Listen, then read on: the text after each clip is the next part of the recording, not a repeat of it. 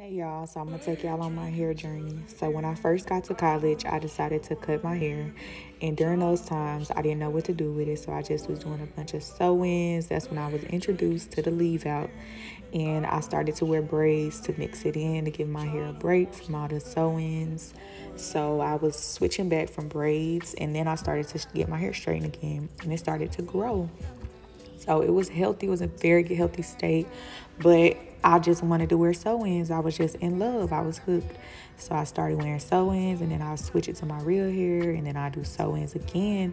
Then I just started doing braids and twists because it was just easier to manage with natural hair. Then I wanted to try to start like learning my hair a little bit, but it was too much. So back to the sew-ins and then I started to straighten my hair again, but it was too much heat. So I just started to switch from sew-ins to my hair. Then I just started wearing buns, just anything that was easy. Then I started to do flexi rods in my hair. Flexi rods, I liked them, but in 2015, I started to get very bored with my hair for some reason. It was getting so long, but I just wanted to switch it. So here comes the red. This one I started getting in trouble. I love the red so much, but I really didn't know how to take care of colored hair. It was my first time. So I just, I didn't wash it that much. I just straightened it, probably washed it once every other week, maybe once a month. So I got bored. and I tried dreads for the first time. I never do them again. They hurt so bad. They were cute, but no. So I wanted to go back black, but I didn't do my whole hair. I just did my sew-in. I just dyed that top part. So I got braids again, but you could still see the red peeking through because I didn't dye all my hair back. So then I started doing, you know, stuff that matched that hair color. Um, and my hair started to grow out some. I was starting to see like a little bit of a pattern, but I still didn't know my hair. Then I wanted to go back red. Why I did that? So this girl jacked my hair so bad. My hair was three different tones. I needed it. So this was like the worst my hair had ever been. It was in a horrible state. So I just dyed it back black to try to get it back healthy. And I started wearing like little ponytail things I make and just put my hair in buns all the time. So I was back to bunning it and I was starting to see like a little bit of a pattern again because I really don't know like what kind of hair, what's my texture. But then I started going back to the twist again because it was way easier. And of course, the sew-ins are back. I love my sew-ins so much, but my hair, like that, all that straightening and leave out is damaging. But it was so pretty. Started back doing sew-ins and then I started wearing hats as a protective style so I won't have to straighten it so much. So I just throw my hat on when I don't feel like straightening my hair out. And then I started switching and doing new little styles. And then I did crochets. Crochets were so heavy. And then I wanted to just start it to just wear my hair a little bit. And then I went back to the sew-in, of course. So the sew-ins were like my kryptonite. So 2016, I went back to sew-ins. I loved them but it was still just damaging my hair. Look at all them tones and stuff. Then I did braids again. I love braids. Braids are so easy and just manageable. So I was back in my braids, giving my leave out a break.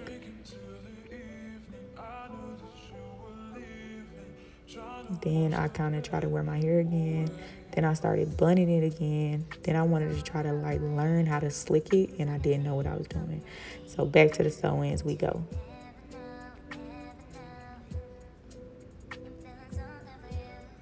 In the hats. then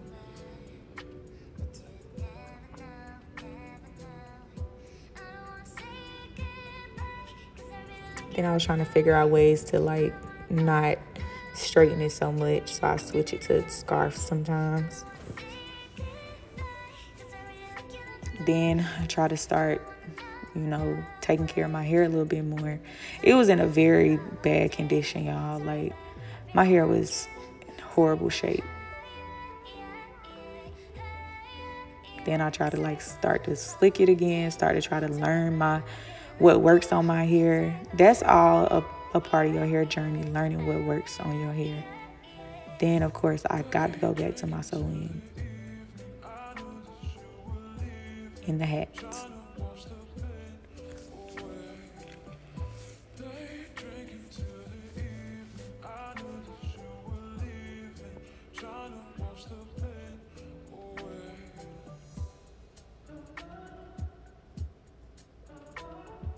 And of course, all the textures.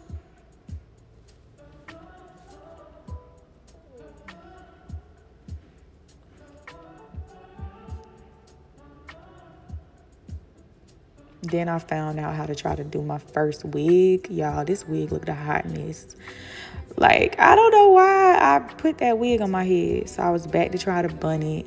And then I got like a frontal sew-in. Y'all, that thing was jacked up. Like, you see that lump? Mm-mm. They just not for my hair type.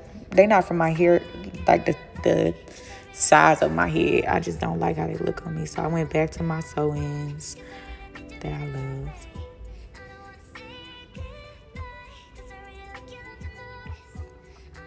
Then back to the buns. And I was also straightening my hair too then. And back to the sew-in.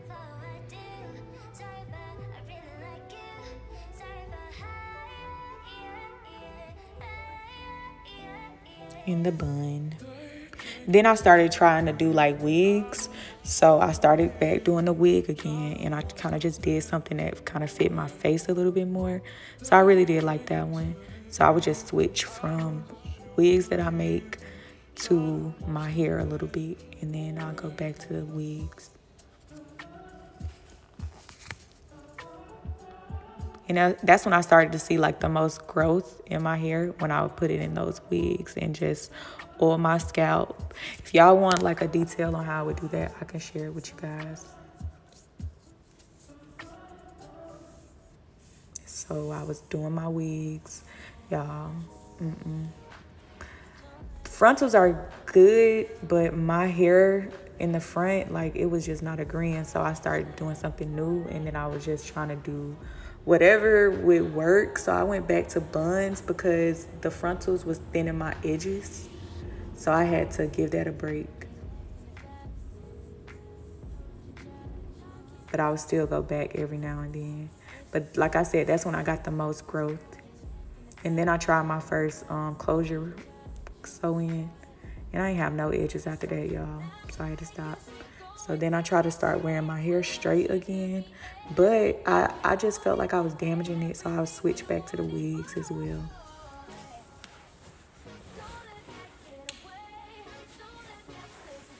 So now I didn't want to wear wigs anymore. So I was trying to figure out different styles to do to my hair. So I went back to the braids because they always easy and the buns.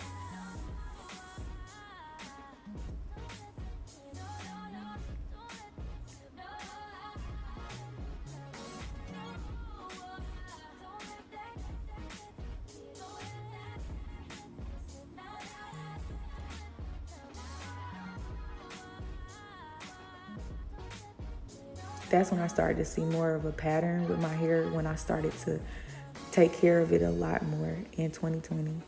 I learned what worked on my hair and I left it alone, but I still wanted to sew in one last time and my hair really went straightened, so I had to put hats on. Then I learned how to do flexi rods with it, but I still went back to braids.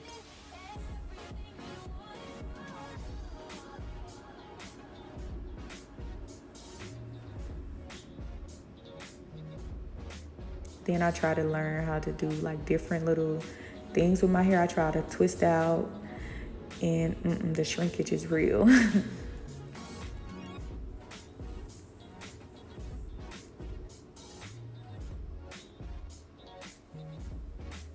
so as you see, buns are my go-to. I love them. This is when I saw the most growth. Then I wanted to try something new. I tried a little sleek ponytail. It was so cute. And I went back to a sew-in one last time. And then now I just bun my hair a lot. And I do braids.